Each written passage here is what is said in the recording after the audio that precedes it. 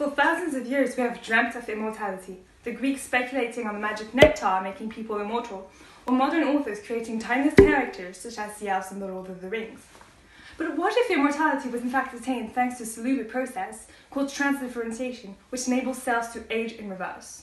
To understand transdifferentiation, we must first see how normal differentiation works.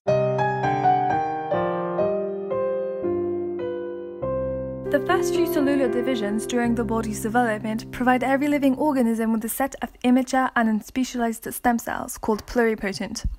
This means that they can differentiate into any type of cell.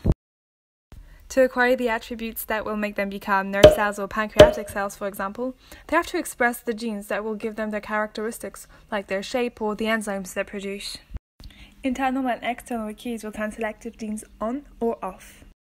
The environment in which the cells mature, induction, or transcription factors, proteins that will encourage or hinder the binding of RNA polymerase to the genes, will trigger their expression. The cell will divide and specialize until it becomes mature and differentiated. Differentiation can technically not be reversed, but some organisms are capable of changing the specialization of their cells thanks to transdifferentiation. Take newts, for example. The specimen has lost its eye after a fight with another newt for a worm. Thanks to transdifferentiation, though, it can grow it back. The stress caused by the injury will act as a cue for RPE cells to change their gene expression.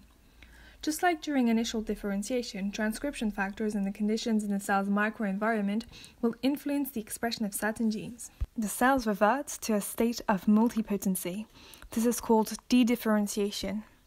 By reprogramming these cells' genes in the same way to redifferentiate them, the newt will create a new set of specialized retinal progenitor cells to replace its eye.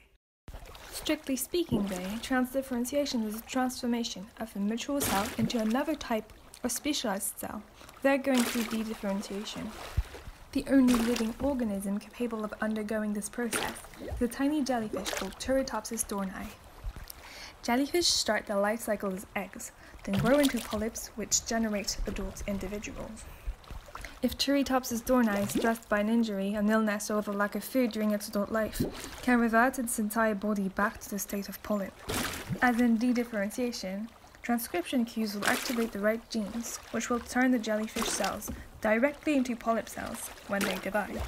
The jellyfish therefore turns back to an embryonic state and is able to generate adult specimens again. If we can identify the genes and transcription factors which regulate transdifferentiation and avoid the growth of tumors during the process, could potentially use it to facilitate organ transplants and cure illnesses such as Alzheimer's and cancer.